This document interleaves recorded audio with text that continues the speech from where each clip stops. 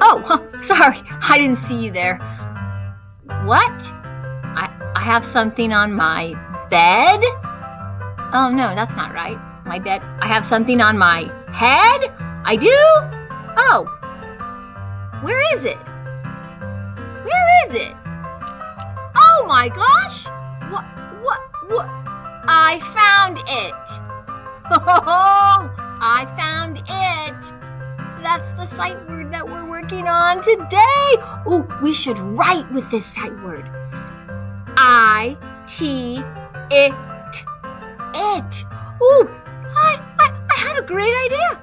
Let's write with it. let's write with it. Come on, let's go. I have my sight word, I have my journal, and I'm going to make sure that I have all of the things I need to do my five star writing. I need to remember that I need a capital at the beginning. I also need to have finger spaces, oh, punctuation at the end. I need to have neat handwriting and does it make sense? So I have my red, yellow, and green crayon and my pencil and I am ready. Are you ready, boys and girls? Make sure you get ready. Here we go. So we are going to make a sentence out of this sight word right here. Now, I am not going to give you the words. No, no, no, no, no. We are going to think of a sentence and then we are going to spell it. Now, if you want to try and write, write your own sentence today with this word, it, you can go do that now. Try it and then come back and see what I did and we can compare, okay? But if you want a little bit of extra help, then you can just do it right along with me. Okay, so what I'm going to say is I think I'm going to start with this word, it, right over here, and I'm going to say it is very hot today. That's a pretty good sentence. I might even add another sentence to it. Okay, so here we go. It is very hot today. It. Now, remember, when we start at the beginning, our five star writing says we have to start with a capital. So we need to make this a capital I and a lowercase t. Okay, so it, finger space, it is, we know that one because that is a sight word, is, it is, finger space, very. Now that's a little bit of a tricky word, so I can help you spell it. Very, the, the, there, there's an R in there. And sometimes Y can make that E sound at the end. So that's how you spell very. It is very, finger space, hot. So when I'm thinking of how to spell a word, I just listen to that sound that I hear at the beginning. I hear an H. Ah, well, I hear an O. Hot. I hear a T at the end. Oh, there we go. Hot. It is very hot. Hmm. Let's see. If I do a finger space, am I going to be able to fit today in here? Let me see. T O.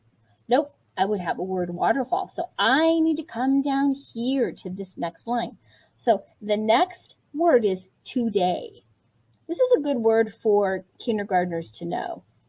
It's spelled like this T O, two, and then day, D A Y.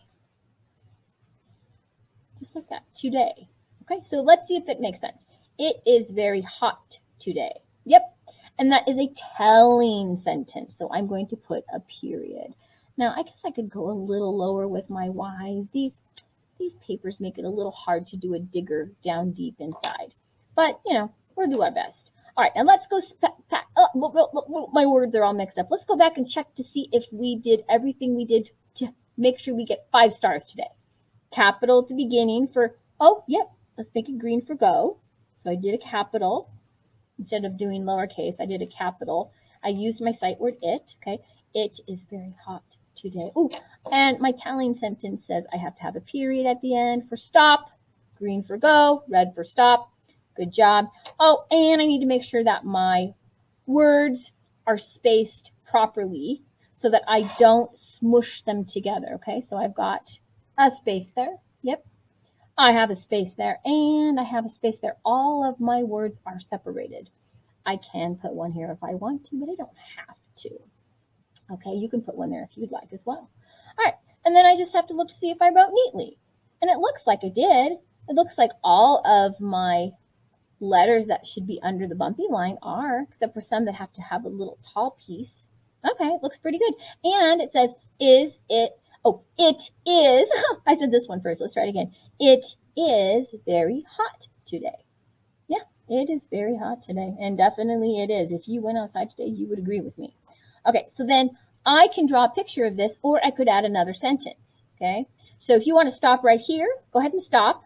Draw a picture. Okay, um, if you want to do another sentence with me or maybe make your own, let's go ahead and try and see if we can do one more because we are getting to be pretty good writers. So doing two sentences would actually be a really good idea if you want a little bit of a challenge. So I think I'm going to say, it is also very sunny. So I'm going to use some of these same words and I'm going to say it because I want to use that word again.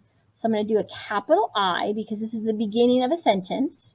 I-T for it, but I have not a lowercase, but an uppercase because this is the beginning of a sentence. This is go, okay? It, remember I said you can do the green right at the beginning if you want, or you can do it after. So I did it right at the beginning this time. It is I-S, look, I used that word again. I could say it is very sunny, but I'm going to say it is also very sunny because I'm saying that it is hot. And I can say it is also. Do you remember how to spell that word? I taught you one day also is spelled like this A L S O. It's one of those funny words, but we, we use it a lot in writing, so I think it's a good one to learn.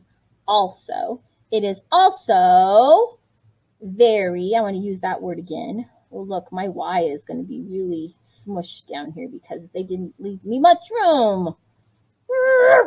Goodness gracious. Well, we'll do our best. Very. It is also very sunny. Uh, now, did you know sunny has two ends? Yeah. Those two ends make one end sound. N. And then, oh, we've got that Y at the end that makes that E. Very sunny. Hmm, yep, sometimes Y says E at the end. Kind of silly. And this is a telling sentence, so I want a period, and I'm going to make it red for stop. Let's go back, make sure we have all of our finger spaces. Separate those two words. Separate those two words. I'm to leave that one blank. And separate these two words. Yeah, oh, I did a good job with that. Okay, now, before I do my picture, I am going to check off to see if I did my five-star rating. It is very hot today. It is also very sunny. Oh, I like it. Okay, so I have my green for go, my capitals at the beginning, Good job, Mrs. Schmidt. Give myself a pat on the back. I have my red periods, my punctuation at the end. Check, check. So if you have your capitals and your periods, go ahead and give yourself two checks, okay? I also have my finger spaces. If you have your finger spaces, give yourself another check. If your writing is neat, like mine is, go ahead and give yourself another check. Well, good job. And lastly, it does make sense. We read it and it makes a lot of sense. It is very hot today. It is also very sunny. Yep, that makes sense. So I'm going to give myself another check right there. Okay, now I'm going to go draw a picture that shows how hot it is today. If you did a different sentence, you can draw a picture of your sentence. I would love to see what you wrote. And I'll be back in a second. And here's my picture. I had to have a sun because the sun makes things very hot. And then this little guy right here, he's raking up some leaves. He's working outside in the hot, hot sun. And look, he has sweat whoop, whoop, whoop, dripping off of his body. and he's trying to work outside, but he's so hot. See, he has his tongue hanging out. he's so hot. So I thought that was pretty good to fit what I wrote, that it's very hot today. It's also very sunny. Yeah. I'd love to see what you wrote. Good job today, boys and girls.